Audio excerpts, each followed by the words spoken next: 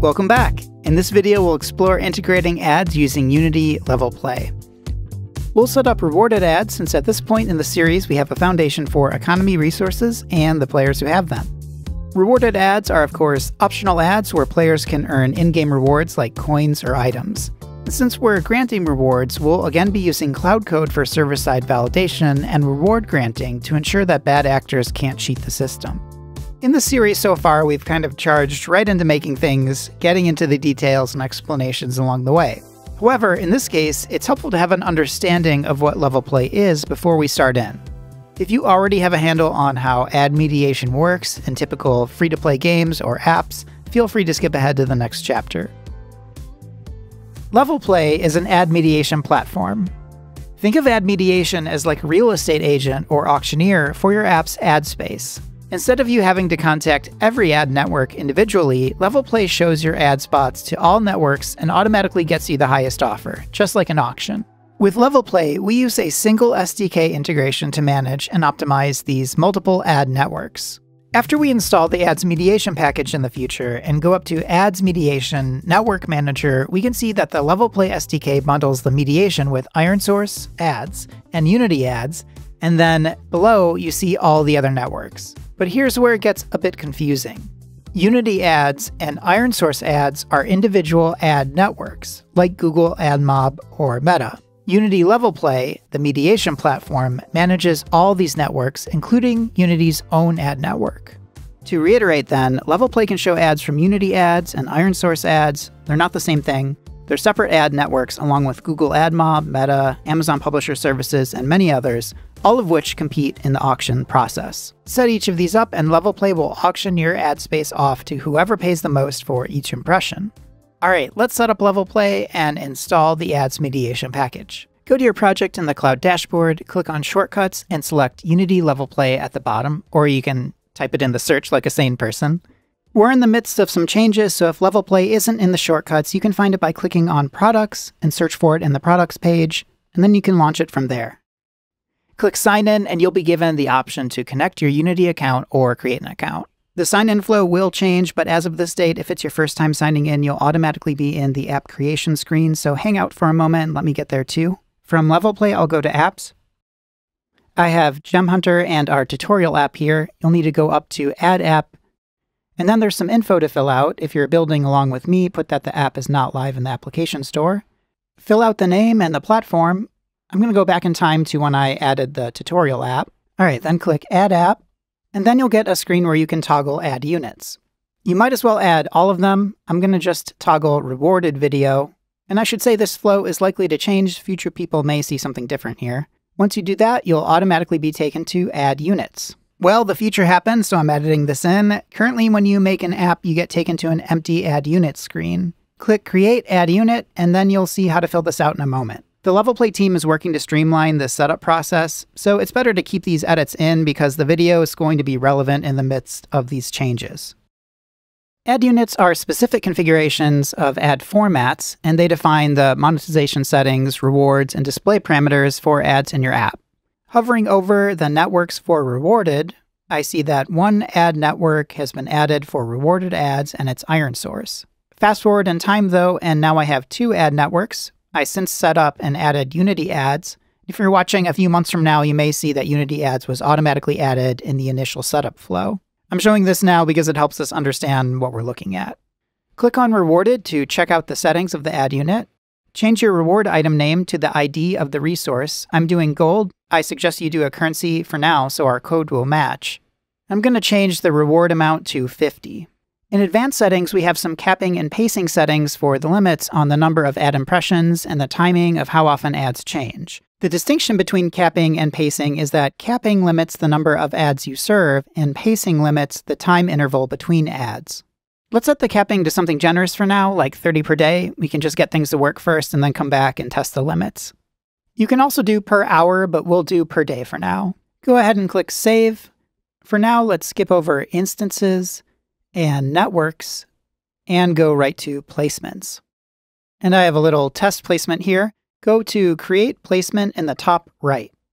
And then for Ad Format, select Rewarded. Okay, with this up, let's talk about what placements are. Placements are placements of ad units. They enable you to control where and how the ad units are served within your app, like the end of the level, in a store, etc. Placement configurations include a reward that will be used instead of the ad unit reward.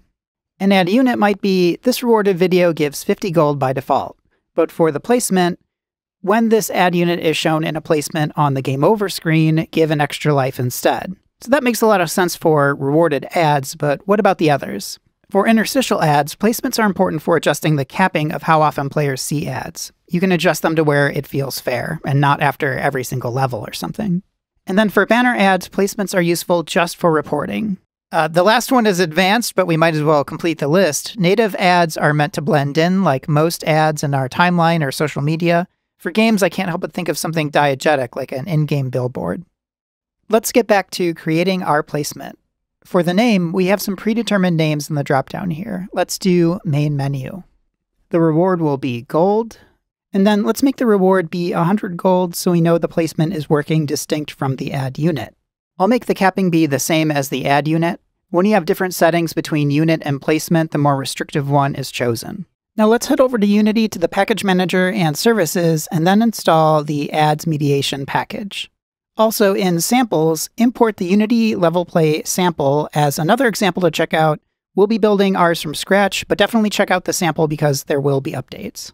Create a new script called something like Rewarded Ads Manager and open it up. At the top, we define platform specific app keys. The app keys identify your app to the ad networks. It's on the apps page of the level play dashboard just under the app name. And while you're there, you can also bring over the ad unit ID and the placement name for the ad. Then we're going to do a simple cooldown on ad completion. Say a user wants to get all the ad rewards they can up to the cap we set. If we do a short cooldown, we can give a little time to queue up the next ad and re-enable the watch ad button. Let's track if the level play SDK has been initialized, and then we have the actual rewarded ad object from the level play SDK. Then we can store the last generated token to easily prevent duplicate usage, we have a couple of events for successful completion. In addition to the bool, we should eventually pass the reward to give a notification to the player. We also have an ad available event, which can be used to toggle buttons or disable things if there's no network connection. Let's take a look at the initialization. We're going to wait for player authentication since we'll be using the player ID in the level play initialization in order to have good tracking data. We only initialize ads after the player is signed in. Just in case we miss the sign in event, which is likely to happen if you move this code into another menu or a scene away from where the sign in would be triggered, we can directly check if the player is signed in, and if level play is not initialized, we can just call initialize ads. We then get the correct app key for Android or iOS. We initialize level play with the app key and the user ID. I'm also including level play set pause game to true, which means that the game will be paused when there's an ad and things will resume automatically when the ad is closed. This should be called once a session, so we're doing it here. The test suite enables us to set and test our app's integration and review the platform setup and ads related to our configured networks. To use the test suite, we need to enable is test suite with set metadata before initializing. Note that later when I test on device, I'm not using this test suite. After the SDK is initialized, we set the initialize flag, log a message, and create a rewarded ad object, register for events, and load the rewarded ad.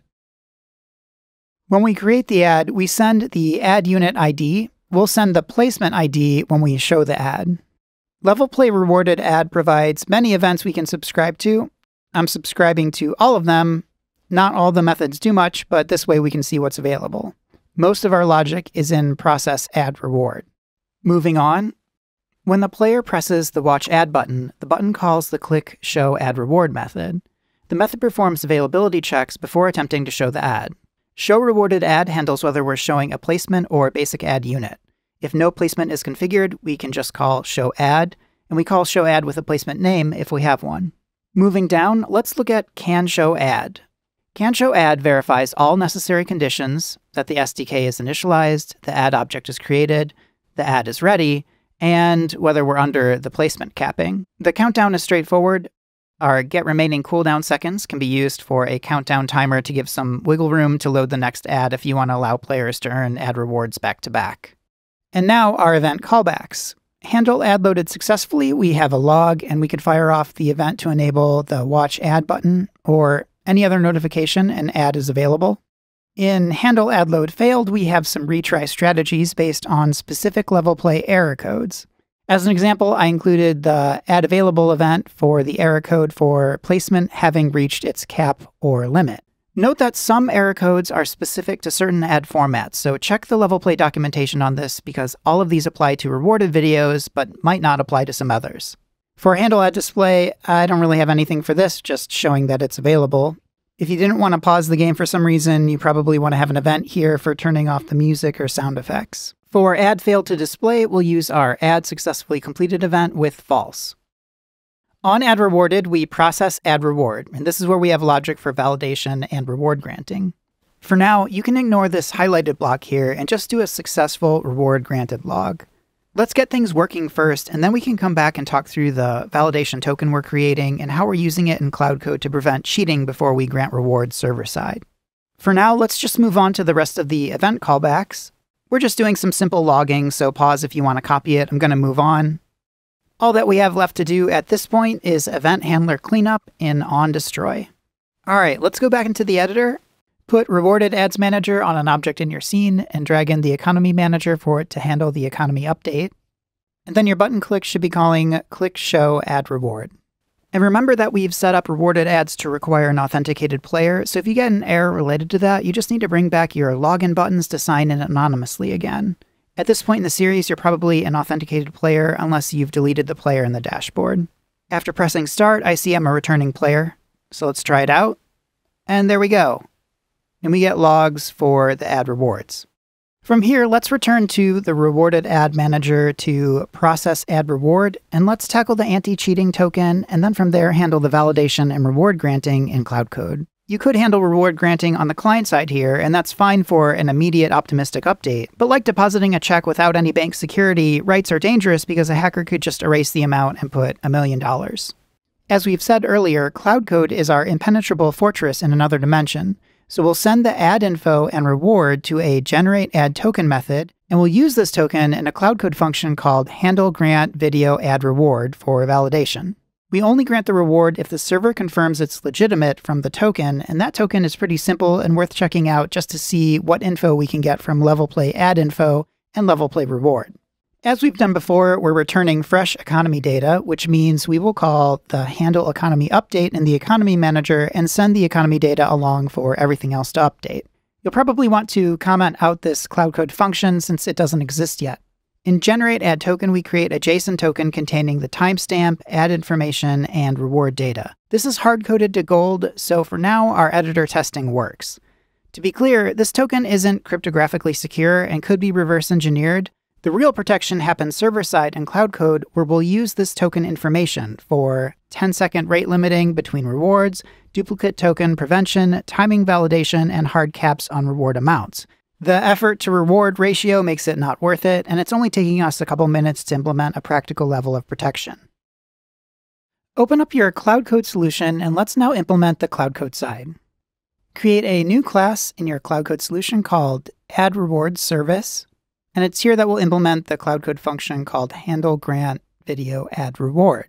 First, inside ad reward service, let's create a parse token data class to hold the extracted data from our ad token, which we'll validate before granting a reward. At the top of the script, we have token validation constants, and then we define the constructor to inject services we'll need. We'll use the player data service for saving the previous ad token and the economy service for granting the reward. In the module config, you'll need to call add singleton passing player data service as the type parameter. This registers it with Unity's dependency injection system, which tells Cloud Code to create one shared instance of player data service and reuse it whenever it's needed. And now handle grant video reward. This is our Cloud Code function, and we first parse the raw token string into a structured object. Then we validate the token contents and validate the token usage, where we have a similar check on timing as our previous cooldown, and we're checking the last used token which we've saved. And last, we grant the reward using our economy service class. Let's check out parse token, and we'll go through these methods pretty quick. The ad token is JSON format, so we deserialize it using Newtonsoft's JSON convert into our parsed token data object. If deserialization fails, we catch the exception and throw an unauthorized access exception. And now let's move on to our method for validating the token data using a few rules, like is the reward gold, and is the amount greater than a max that we set. Even if somebody figures out the token, there's a max on what they can get out of it. An important note here throughout the series, we've had detailed exception messages for learning purposes, but in production, you'd want to keep those messages vague. Instead, log the details via the Cloud Code logger. Otherwise, you're revealing your validation logic to anyone inspecting the error responses. It's a bit like saying, oh, that's not the password because the password starts with a J. It's better to just have the message be vague, like token invalid. Let's move on to our duplicate token check.